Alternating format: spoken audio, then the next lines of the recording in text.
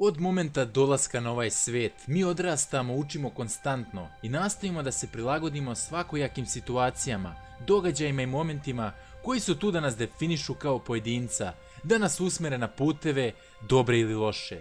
No tu su, postoje i neka dešavanja prouzrokujemo sami, dok neka nas prosto zadese u određenom vremenu. Da li smo ih mogli izbeći? Pa teško.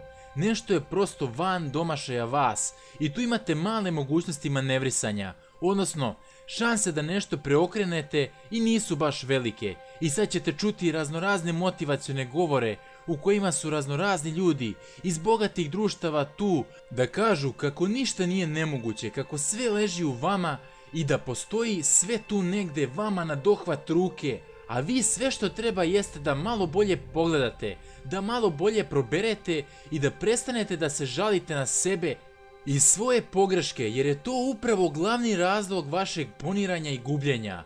I nešto, nešto je tu trulo. Znate li to?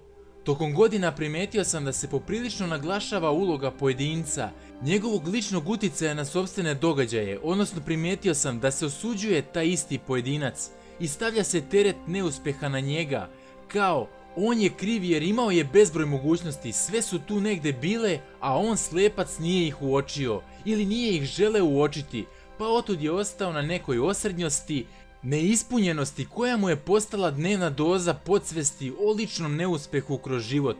I tako je bilo, tako se to posmatralo dok nisam sam stavio prst na čelo i dobro razmislio o tome. Većina se rodila u nebaš dobrim uslovima, ratnim okolnostima i društvenom svešću razvijenom na nivou starlete. Bolesti se leče kroz SMS, novac postaje član broj 1 porodice, politika je kurva jer nema nove ljude koji imaju muda da ovim tendencijama samodestrukcije stanu na kraj, a ljudi se cene za vreme predizborne kampanje i samo tad se gledaju kao pojedinačne ličnosti, a ne brojevi u sistemu. Mladi ne nalaze posao koji je dovoljan za pristojan život i osmijeh na licu, ovi malo stariji rade, a šta i za koga, hm, to njih pitajte. Fasciniranost brojevima i njenim utjecajem na nas, došao sam sasvim slučajno, dok sam slušao jednu mladu osobu koja je kroz sasvim običan razgovor dala poprilično zanimljivu tvrdnju koja mi je ostala urezana i koja me motivisala da razmislim o tome, da uočim pojedine aspekte života kroz taj pogled. Mi smo njima samo brojevi.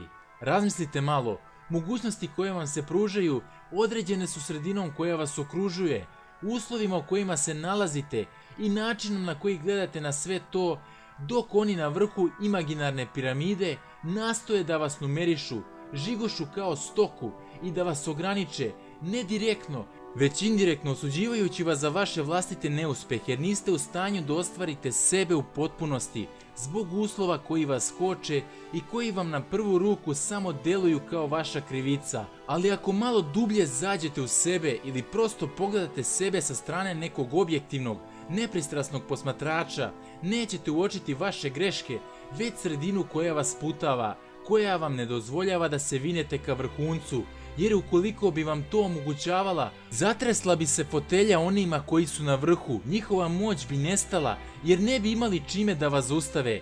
Otud se, mi smo njima brojevi, dobija popriličnu težinu. Prosto, društvo u kojem živimo se gradi na pohlepi i zasnovana je na numerologiji moći, a to je ljudi su brojevi u sistemu, ništa više od toga i tako se gledaju.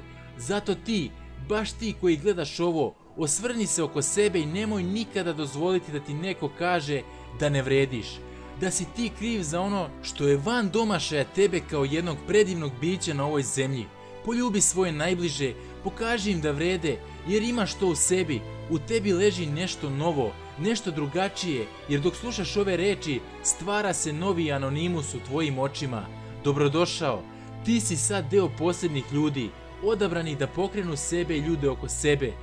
Budi sve, samo ne još jedan broj u sistemu.